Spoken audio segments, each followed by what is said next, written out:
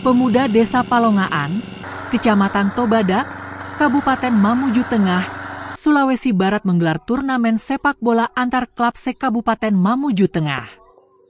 Panitia turnamen, Taran Aprianto kepada tribunsulbar.com mengatakan, turnamen tersebut memperebutkan total hadiah 15 juta rupiah. Dirinya menyebutkan, ada 16 klub yang sudah mendaftar dan akan bertanding.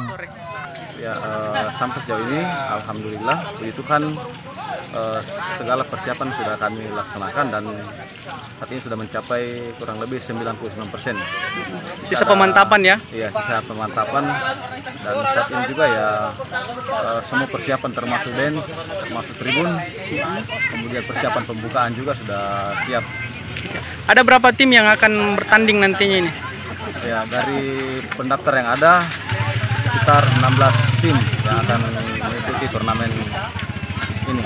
Itu dari tersebar di setiap kabupaten seperti apa? Ya, uh, yang semula yang awalnya itu kita uh, mengundang sekecamatan Tobada, uh, cuman karena tim yang tersedia itu tidak mencukupi kuota yang kami buka, akhirnya kami mengundang ke kecamatan lain.